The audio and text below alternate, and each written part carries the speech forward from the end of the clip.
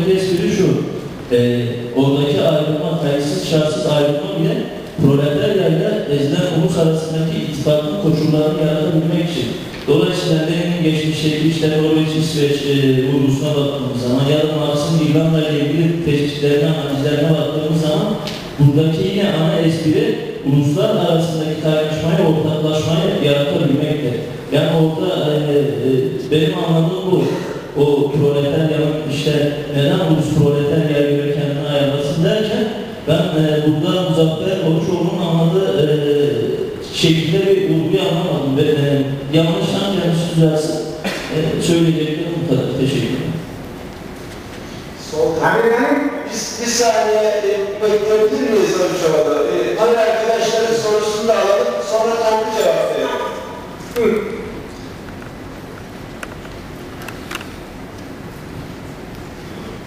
Merhabalar, e, ben e, Bey sormak istiyorum. Kürdistan'daki baş çelişme Türkiye'deki baş çelişmeyi aynı görmediğine dair bir ifadesi geçti. E, bunu biraz açarsa sevinirim. Bir de geçmişte kendilerinin de içerisinde bulundukları hareketin Kürdistan ile Türkiye devrimi adı altında Kürdistan'da örgütlenmesini o dönemin koşullarında doğru e, taşıyor ki Kaypak zaten o dönem bir Kürt hareketi olmaması nedeniyle de dayandırıyor. Ama bugün geldiğimiz aşamada e, Kürt hareketinin siyasal öznesinin olması Herkese merhabalar. Ee, şimdi birincisi Muzaffer Orçoğlu'nun e, bir ulusun kendi kaderi kaynaklarını komünistler karşısız şartsız desteklerken ama devlet kurma hakkını kullandığı zaman işte komünistlerin buna hiçbir şekilde proletaryan çıkardığı olsun ya da olmasın ses çıkarmaması gerektiği yönlü bir söylem oldu. Ee, bu söylemin yanlış olduğunu düşünüyorum. İbrahim Kaypakkaya'nın da belirttiği gibi böyle bir devlet kurulduğu zaman, hani ulus kendi kaderini tayin etme hakkını kullandığı zaman bunu ezel hakların ve proletaryanın yararına ya da zararına olduğu vakit buna göre bir değerlendirme yapılır ve eğer zararınaysa komünistler de ideolojik olarak ama sadece ideolojik olarak fiili herhangi bir müdahalede bulunmadan bunun mücadelesini yürütür ve halkın içerisinde de bu yanlışın teşhirini yapar. İkincisi Muzaffer Orçoğlu'nun işte ezilen bir ulusun emperyalizme karşı direkt olarak mücadele veremeyeceği yönlü bir söylem oldu. Ya zaten kimse işte bu tutup da bir ulusal mücadele ya komünist bir hareketin gidip Amerika'da baş düşmanımız olan Amerika emperyalizmle savaşacağını söylemiyor. Bu Türkiye Cumhuriyeti Devleti'ne vurulan her darbe ülkeyle emperyalizm ilişkisi doğrultusunda emperyalizme vurulan bir darbedir. Yani emperyalizm karşılığı da buradan gelmektedir. Ee, tüm bu değerlendirmeler sonrası Muzaffer Hoşoğlu'nun 1920'lerde yapılan Kemalist devrim hakkındaki değerlendirmesi nedir? Bunu öğrenmek istiyorum. Teşekkürler. Salonu göremiyorsunuz e, Sayın Barışoğlu ama burada e, Evet. duvarda karşılıklı İbrahim Kadarkaya'nın e, bütün yazarları, üniversite arasında iki tane e, taraf var, paragraf var. Bir tanesinde e, başlangıcını söyleyeyim siz hatırlarsınız zaten. Milliyeti ne olursa olsun bilinçli Türkiye proletariyası işçi ve köylü yığınlarını kendi bayrağı etrafında toplamaya çalışacak. Devam ediyor biliyorsunuz. Diğerinde de milliyeti ne olursa olsun bilinçli Türkiye proletariyası Türk Milli Hareketi'nin Türk hakim sınıflarının zulmüne zorbalığına diye devam edip e, diğer ezilen milliyetlerin aynı yöndeki hareketlerini kesinlikle ve kayıtsız şartsız destekleyecektir. Bu iki paragrafı anımsadığınızı sanıyorum. Şimdi e, sizin bulunduğunuz dönemde e, Kuzey Kırgızistan'da bağımsız bir ulusal hareket e, yoktu. Ulusal hareket yoktu zaten. E, bugün bir güçlü ulusal hareket var. Bu şartlar altında e, İbrahim Katakaya'nın e, işçi ve emekçilerin ortak örgütlenmesi, sınıf perspektifi doğrultusunda ortak örgütlenmesi hattı ile, bu yöndeki politikası ile ulusal hareketin desteklenmesi e, politikası anlamında bugünkü e, görüşünüz nedir? Aynı görüşü paylaşıyor musunuz? Yani e, Türkiye'de e, komünist hareket e, Kürt protelerlerini, emekçilerini ve kendi örgütlülüğü etrafında toplamalı mıdır? Ulusal hareketi desteklemekten ayrıca bağımsız politikalara bu yöne koymalı mıdır? Teşekkür ederim. Son bir arkadaş. Türkiye birey, toplumumuz, ulus, e, ben e, kendi kaderimi şöyle etmek istiyorum. Derse buna kimse karşı çıkmamalı. Ne? Yani ben faşist olmak istiyorum. Biz karşı çıkmamalıyız. Bu senin e, hakkındır. Buna saygı gösterelim. Demenizi bekliyor e, biraz. Bu yanlış bir mantığın kurgusu yanlış. KYK'nın üzerinde durduğu ve vurguladığı şuradaki e, paragrafta da var. Diyor ki demokrat, genel demokratik muhtevasını kayıtsız şartsız destekleriz. Siyasetten, siyaset hareketinden bahsederken evet İngilizler desteklemiş olabilir, şunlar olabilir, bunlar olabilir ama onun tarihsel ve toplumsal olarak demokratik bir muhtevası var. Biz bunu destekleriz. Ama bu hareketin siyasal bir hareket olarak Amerika'yla ya da bir başka gerici güçle ittifak yapması ve bunun bir piyano haline gelmesi e, sürecini destekleyip desteklemeyeceğimiz meselesini orada kendi irademizden karar vermemiz gerekiyor. Yani böyle peşinen bir e, şey yapmak, e, teslim olmak, bunu kayıtsız şartsız tanıma anlayışı e, yanlıştır ve bugünkü koşullarda e, gerçekten emperyalizmle barış içinde bir arada yaşama siyasetine de hizmet eden bir anlayış olmaz mı bu diye e, soruna bağlamak istiyorum. Teşekkür ederim. Şunu belirttiniz. Ulusal hareketler proletarya ile örtüşüyor mu, örtüşmüyor mu? Bu ülke tehlikeli bir ülke dediniz. Yani proletarya ile örtüşmüyorsa e, ulusal hareketler e, desteklenmemeli gibi bir yaklaşım hocam. Ben burada şu örneği vermek istiyorum. Hani Kosova'da bağımsız oldu bugün.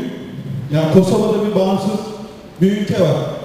Kosova'nın bağımsızlığı Kürtlere örnek olabilir mi? Veya bugün Güney Kürdistan'daki emperyalizmle e, bağdaşık bir yapılanma Kürt halkına, Kürt ulusuna bir örnek teşkil edebilir mi? Proletarya e, desteklemeli mi, desteklemeli mi? Bu konuda hani des, e, emperyalizmin kucağına itmiyor mu? Direkt ulusal sorunları emperyalizmin patentini alıyor. Bu tehlikeli bir yaklaşım değil midir hocam?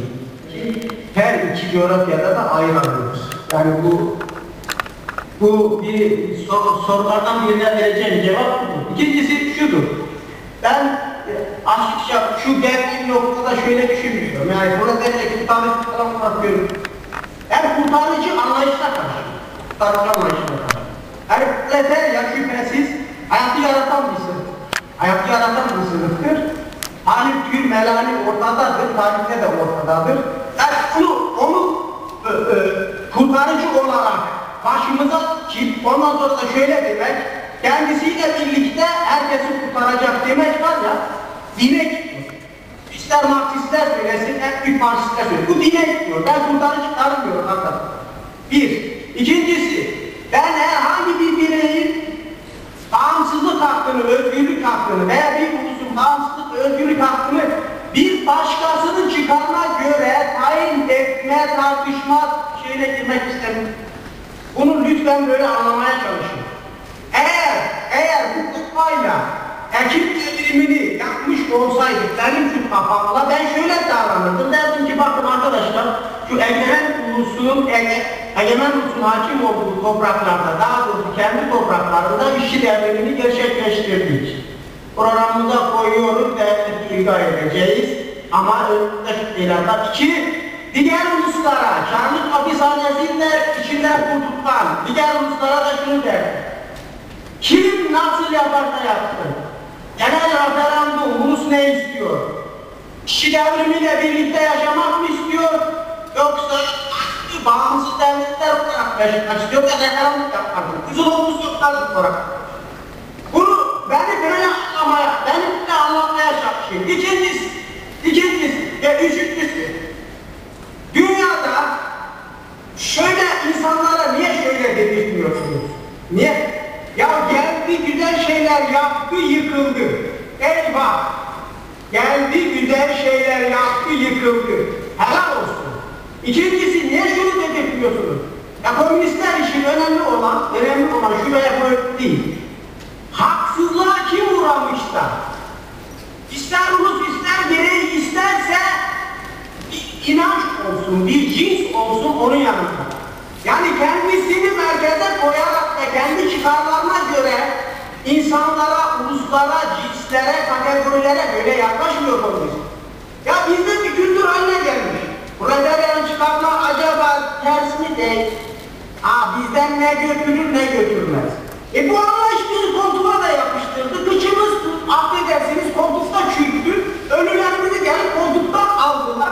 Şimdi de onların kalıntıları çocuklarını kendinden sonra oğullarını, torunlarını şeye yerleştirmeye çalışıyorlar. Kuzey Kore'de olduğu gibi. Kümesul sosyalizm değil ama kusura bakmayın da yani şeyi birbirinden ayırmak lazım. Devlet sosyalizmi ile geçmişte kullanılan devlet sosyalizmi ile bu Paris Komünü ve komünal komünist sosyalizmini bizzat halkın kendisinin yönettiği sosyalizmi birbirinden ayırmak lazım. Doğrudan demokrasi ile hayata, hayatı yaratanın hayata egemen olması ve doğrudan yönetmesi ile onlar adına devletin gelip de ceberut bir tarzda paşa oturup onu yönetmesi, onlar adına hareket etmesini birbirinden ayırmak zorundayız. Akıl tutlar çıkartıyorsunuz. Hala bana kalkıp şöyle diyorsun. Ya çıkarımıza olur mu olmaz mı? Zaten hayat yedi bizi çıkar. Çıkar, çıkar, çıkar. Şöyle sokağa çıktın herkes paranın peşinde koşuyor. Paranın peşinde koşanların bir bölümü iyi niyetliler de partiye gelip gidiyor. Bunlar da paranın peşinde koşuyor. Nasıl koşuyor? Devlet kuracağım, yöneteceğim, kurtaracağım. E kim, o, kim olarak kurtaracak? İşçi sınıfın en güçlüsü olarak kurtaracak. Ya bir de bundan ayrı olmamız lazım arkadaşlar. Ben kafayı böyle yedim, kusura bakmayın. kusura bakmayın.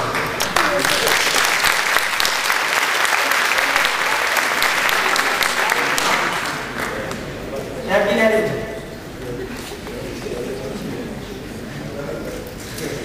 Arkadaşlar ne oldu? Ses...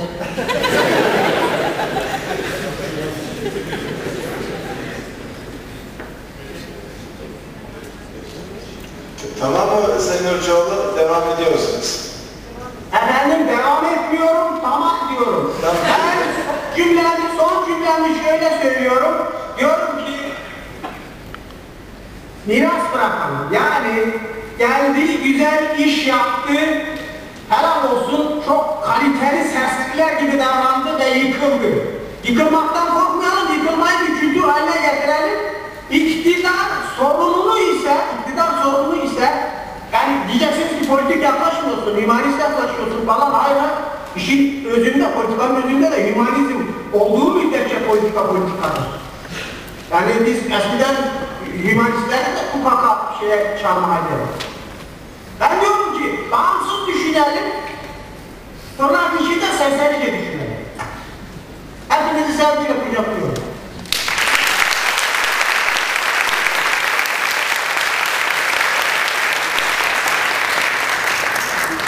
Biz de size görüşlerinizi bizle paylaştığınız için